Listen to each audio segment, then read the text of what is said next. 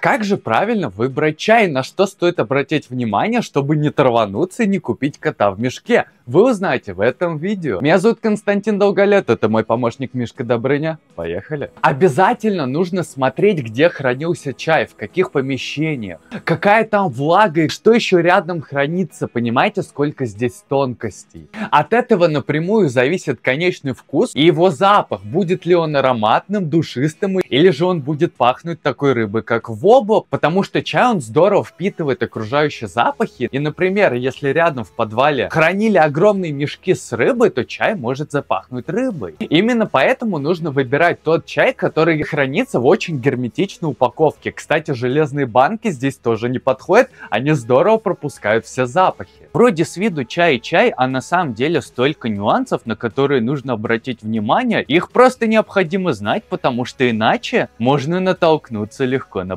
подделку. Конечно, Добрыня, мы же берем чай из провинции Фудзянь из Китая у наших знакомых фермеров, которых мы знаем и которым мы максимально доверяем. Поставляет по-настоящему качественный чай, который я лично весь проверяю, но они красавчики, очень ответственно подходят к своему делу. Вот вам простой лайфхак, как купить действительно хороший качественный чай, если вы в чае ноль. Я в основном специализируюсь на таких редчайших сортах, как, например, Анди Байча, который 200 грамм может стоить аж 15 тысяч рублей спокойно. То есть такие редчайшие, как правило, белые сорта, их пьют в основном только гурманы и люди, которые по-настоящему разбираются в чае, и их не проведешь. Поэтому возьмите на заметку тот факт, что если вы хотите 100% гарантии, что перед вами будет качественный чай, берите элитные, дорогущие, редчайшие сорта. Там подделок я еще ни разу не встречал. Такие редчайшие чаи берут те люди, которых уже тошнит от подделок и фальсификата.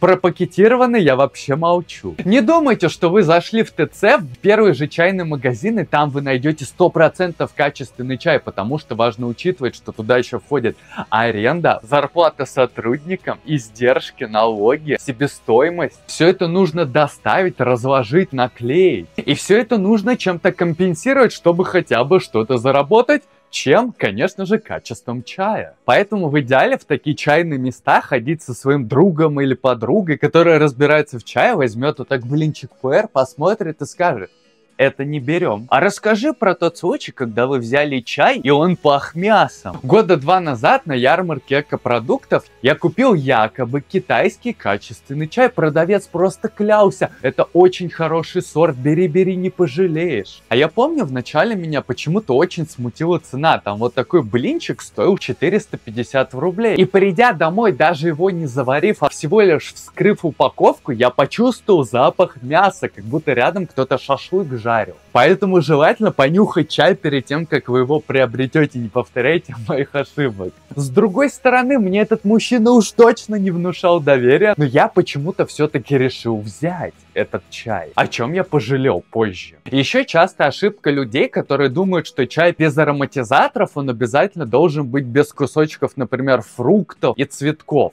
А по секрету скажу, что натуральные кусочки фруктов или те же цветы, это не считается ароматизаторами, потому что это естественные природные добавки. То есть молочный лун, тут я полностью согласен. Его не поливают молоком, а обрабатывают ароматизатором со вкусом сливок, чтобы вам было приятнее его пить. И, кстати, молочный лун чаще всего берут именно у нас, потому что китайцы на первый план ставят пользу от чая, а не его вкус. Здесь возникает такая путаница. Если вы видите, например, чай без ароматизаторов и там кусочки фруктов, и вы сомневаетесь, все в порядке, так и должно быть, он действительно без ароматизаторов, например, с добавлением кусочков манго или кусочков клубники. Если вы сомневаетесь, возьмите лучше несколько сортов, грамм по 50, распробуйте, а потом уже и скажете, что вам больше всего по душе. Да, 50 грамм анчана, 50 грамм алфена, 50 грамм лунзини, серебряные иглы, пуэр, дяньхунь и так далее. Или же, если вы сомневаетесь, например, в качестве чая, вот так все вам красиво рассказали, и потом говорят, вот берите полкилограмма, сразу будет намного бюджетнее и выгоднее,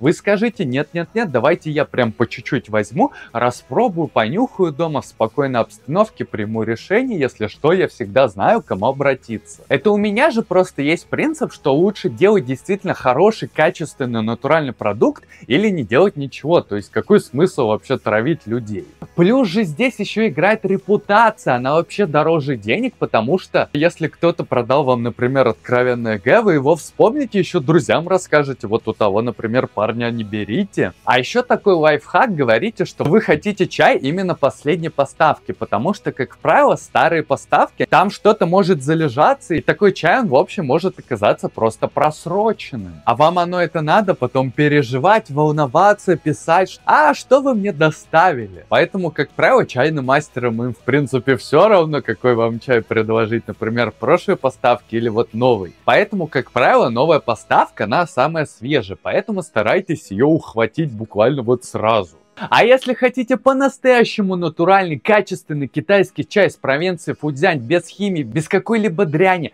Пишите в личные сообщения, все подробности будут в описании. Также, друзья, занимаюсь другими натуральными и качественными экопродуктами для долголетия. Натуральным медом, с продавленным маслом холодного отжима, сушеными грибами, собранными в экологически чистых местах. Пишите в личные сообщения, все подробности будут в описании. Буду рад вам помочь, подсказать что да как, все тонкости.